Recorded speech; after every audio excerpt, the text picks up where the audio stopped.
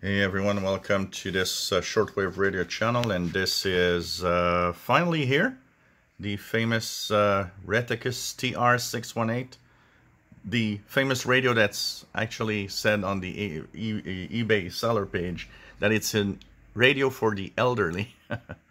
so um, what's in the box? Well, it's very simple. The box, you have the radio, which actually is very nice looking. I have to say that it's beautiful looking little radio. And uh, yeah, there's an SD card here because I tested the audio quality of it. Comes with a simple few page manual that explains uh, how the radio works. And has a power cord because it has a internal power supply. So you can actually plug it into the mains of your, um, you know, in, in, in the socket. And uh, it actually works. So when you turn it on, little power here. And uh, it's actually...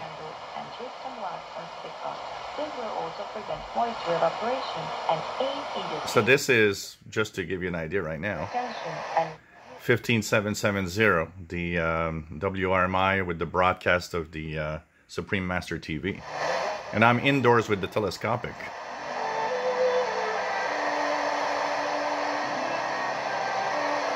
So, you know, you already hear this. Anyways, you'll see a lot of videos coming up today. I'll be listening to shortwave the rest of the day with this. And also be tuning the medium wave band tonight. And, uh, of course, trying a little bit of FM on it. So this is a radio that has three bands. FM, it has, uh, FM starts at 87 megahertz up to 108. It has AM from 520 to 1710 expanded AM band. And shortwave is covered from 6 to 18 megahertz. So there are some missing uh, frequencies in the lower uh, frequency range, like you don't have the 60 meter band. And, uh, well, above, uh, it doesn't go above 18, so it doesn't have 13 meter band. Not a big emission, but, you know, it's uh, kind of a restraint.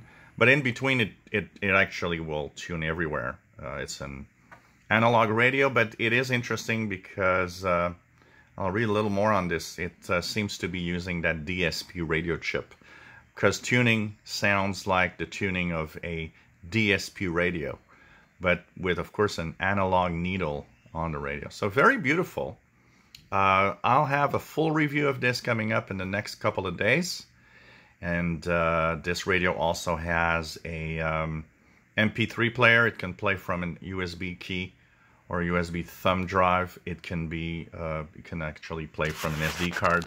That's why I've got my SD card here, trying it with some MP3s on it.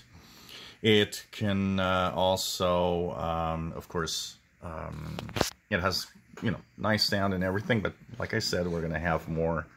It uses either mains power or you have three batteries, three uh, D batteries that go in there and there's even an headphone jack here on the left side, on the right side of the radio, sorry. Power here. So nothing much, not very fancy. Simple to operate probably. And that for uh, the elderly is probably what we want. Uh, the display here is only when you actually turn it on and use the um, MP3 playback. It says hi-fi and then it starts playing whatever you have on the MP3, which is the uh, start of the uh, intro song that we have from uh, Radioactivity. So um, it that display does not work while you're tuning shortwave. Uh, it displays nothing. Uh, it would have been nice if it could have displayed maybe the frequency of where you're tuned, but it doesn't. Um, so uh, it's really just for the use of the MP3 playback on SD card and USB thumb drive nice looking and uh, lots of videos coming up so uh, hang in there guys. Uh, it's coming up tonight. I'm going to listen to shortwave have you guys listen to some of the signals on shortwave and I'll give my opinion. So uh, I'm already surprised that the power from the mains doesn't actually induce a lot of noise. It seems to be pretty filtered there. And so but I will be using it with batteries to make sure that it's the cleanest quietest conditions possible. If you enjoy my videos please subscribe give us thumbs up Thank you for watching, and this is the uh, quick look at the uh, Retekess TR618 AM FM shortwave radio for, for the elderly, as they say.